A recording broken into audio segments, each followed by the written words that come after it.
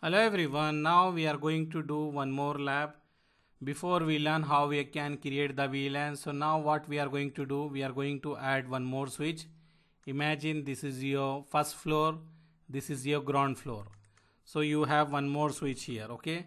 I will give the switch this name as a switch and you uh, you have some guys from the sales sitting in the ground floor and also from the IT so this is connected this way. Your manager told them your manager told you to do the configuration so this guy can communicate with the same VLAN see here what we done.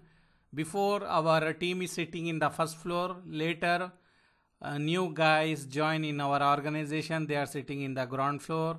So ground floor we install one switch and we connected the two PC and from this switch to this switch we connected. We are calling this is uplink so this two switch is connected and if you see we have the two port here. And let me give the IP here. I will give 192.168.1 dot I will give 3 okay and here I will 1.3 and 4 we use so 1.5 I will give. Okay 192.168.1.5 and let me assign the IP to this machine. So I will go here.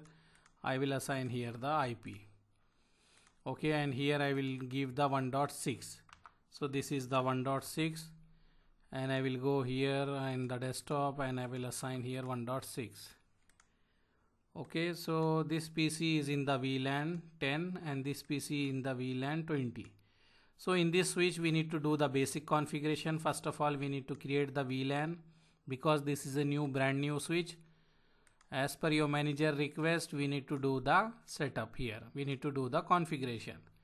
We make the connection but still this PC are unable to communicate. If you go here you can check here IP config.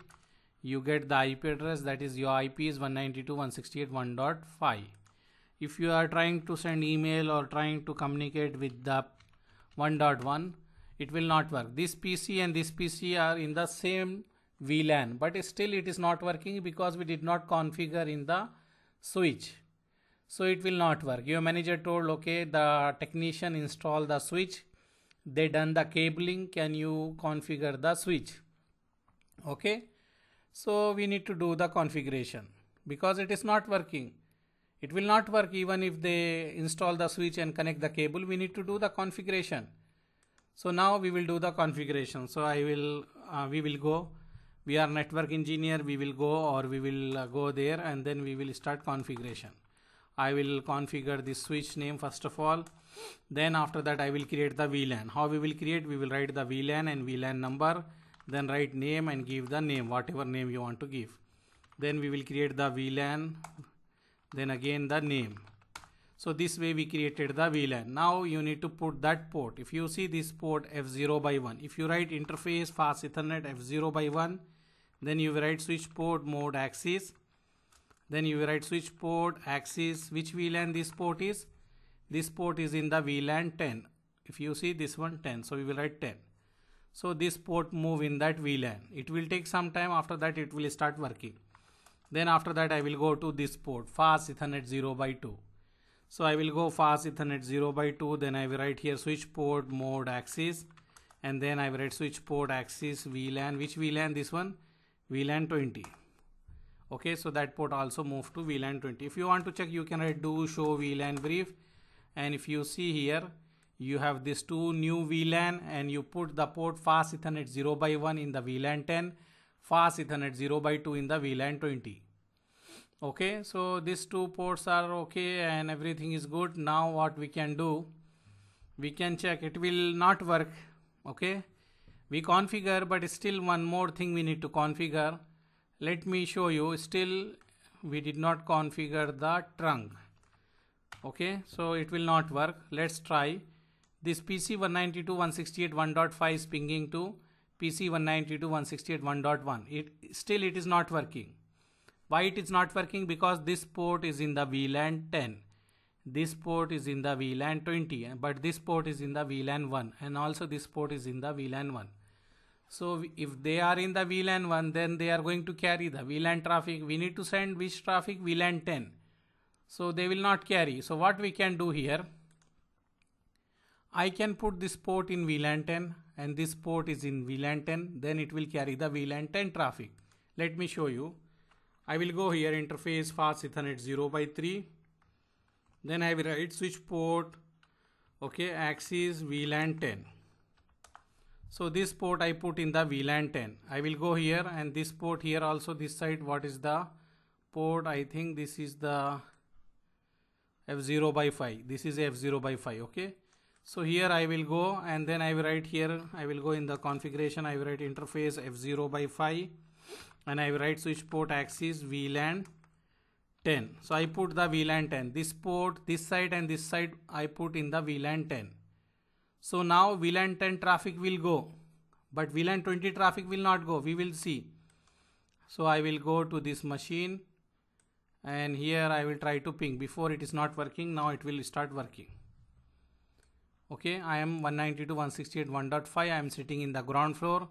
I am making communication with the first floor the PC 192.168.1.1 it will work. It will take some time and then after that it will start working okay this is VLAN 10 this is VLAN 10 if you see last pack packet is working. So let me ping again. So it is working perfectly. VLAN 10 is working no issue. But the problem here if you go here okay this is the computer. If you write IP config this is the IP of your computer. If you want to ping 192.168.1.4 here I will write ping 192.168.1.4 okay? It will not work. This PC will not communicate with this PC because this port is in the VLAN 10 this port is going to carry only VLAN 10 traffic. So this is a problem here. This port is going to carry only VLAN 10 traffic. So we cannot communicate. We cannot make the communication between this VLAN 20 if you put this in the VLAN 20 then it will work. But this will stop let me show you. If you see this one is not working. Now I will go here. I will write here switch port access VLAN 20 okay? I change here in the switch to and here also I will write here switch port access VLAN 20 if you want we can write do show VLAN brief. So I put this port this one F0 by 5 in the VLAN 20 before it is in the VLAN 10 now VLAN 20 will start working but VLAN 10 will stop working. Okay? If you want to check you need to wait some time because spanning tree protocol is working here. If you don't want to wait then do fast forward this one. Okay? Now you can check. Now which PC this PC before we are checking this PC so now check. This will start working. This computer is communicating with this computer no problem. Okay because this interface we put in the VLAN 20 but this computer before it is working now it will not work because it will not carry the VLAN 10 traffic. This link is going to carry only VLAN 20 traffic. So we have this problem. If you put for VLAN 10 VLAN 20 will not go. If you put for VLAN 20 VLAN 10 traffic will not go. So what is the solution? How we can fix this issue okay what is our solution? How we can fix this issue? So we are going to use the trunk. Trunk is going to carry all the VLAN okay trunk is going to carry the multiple VLAN so we are going to configure this port as a trunk. So when this port become as a trunk is going to carry multiple VLAN more than one VLAN you can carry all the VLAN or you can put the filtering here also so now I will make this port as a trunk, this port as a trunk. Then he is going to carry the VLAN 10 traffic also, VLAN 20 traffic also. So how we can make the trunk? We will go here inside and then I will write here switch port mode trunk. Okay. So if you see here when I make the switch port mode trunk, this interface will go in the trunk. I will go here. I can show you show interface trunk we use this command show interface trunk to check the trunk interface. So if you see I have one interface fast ethernet 0 by 3. It is in the on mode means manually we configure and we are using 802.1q trunking protocol. Encapsulation we are using 802.1q. Status is trunk, native VLAN is 1. How many VLAN, whatever VLAN this port is going to carry, it, it is going to carry from VLAN 1 to 1005 standard VLAN he is going to carry allow on the trunk. All VLAN he is going to allow here. Currently how many VLAN we have here? We have VLAN 1, VLAN 10, VLAN 20. So this all is going to carry. So what I done I make this port as a trunk. Okay. So here in the Cisco when we make this port as a trunk automatically the directly connected link of the switch also going to become as a trunk automatically. But Cisco recommend to do both the side manually but if you make one side as a trunk automatically the other side is going to become the trunk because of the DTP protocol. Okay? Because of the DTP he is going to make the other side also trunk. So let me show you. If you go to the switch 1 and if you check here we did not make here trunk. Okay? So if you see do show interface trunk. Here also this port the fast ethernet 0 by 5 this one also become as a trunk but we did not make this one as a trunk. This become automatically because of the DTP and they are using the 802.1q trunking protocol. Native VLAN is 1 same thing but this become automatically. When we make this as a trunk automatically this become as a trunk. Okay? But Cisco recommend not to do automatically do manually. So I will write here interface fast ethernet 0 by 2 and then we write switch port mode trunk. Okay I done switch port mode trunk and then you can write show interface trunk to check the trunk port. If you see here before we have here auto but now on. When you configure manually this will become on. If it is become automatically you will have auto here. Okay. So if you see here before it is a auto here this one. But now I configure so this become as a on. So now what we can do we can test. So I will go here before it is not working right before this one is not working. So now I will check. It is working. VLAN 10 traffic is going here. Okay? VLAN 10 traffic is going with this trunk link. So we can check the VLAN 20 traffic also. So I will go here and I will ping the VLAN 20 traffic also here.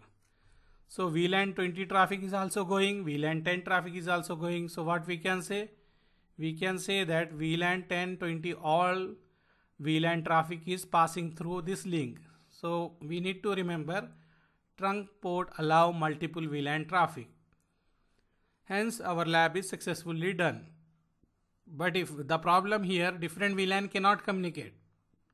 If you go here and you will say I want to communicate 1.4 then it will not work. If you ping here 1.4 it will not work if you see here it will not work. Why it will not work? Because different VLAN cannot communicate.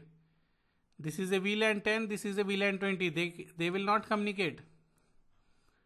They will not communicate. So what we can do? We need to do the inter VLAN routing.